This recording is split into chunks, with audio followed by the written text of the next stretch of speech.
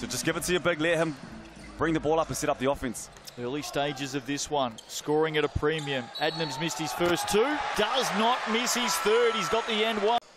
Big west city of New Zealand, Perth at the moment. There's Adnam getting in. Big basket, Kyle Adnam. How many Kiwis at the Wildcats for next ANBLC? Doesn't have to play the most amazing game that I've ever seen, but to have him back on the floor means so much. to Not just the Sharks, but basketball in New Zealand. We see the great pass and the no look from Kyle Adnam.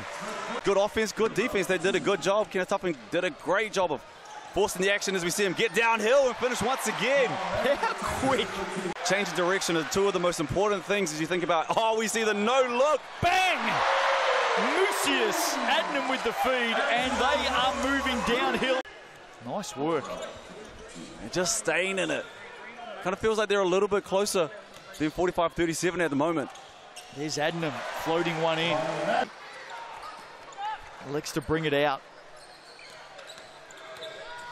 Inside, great pass again, Kyle Adnam to Vodanovich. And that's back-to-back times now that they've gambled on Wembley.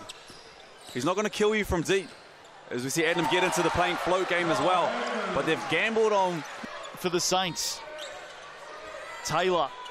And this is where I think they need to go back to Taylor. Wembley's got four fouls. You've got them... Oh, you know what? That works. Kyle Adnam. Shot clock at 10 now.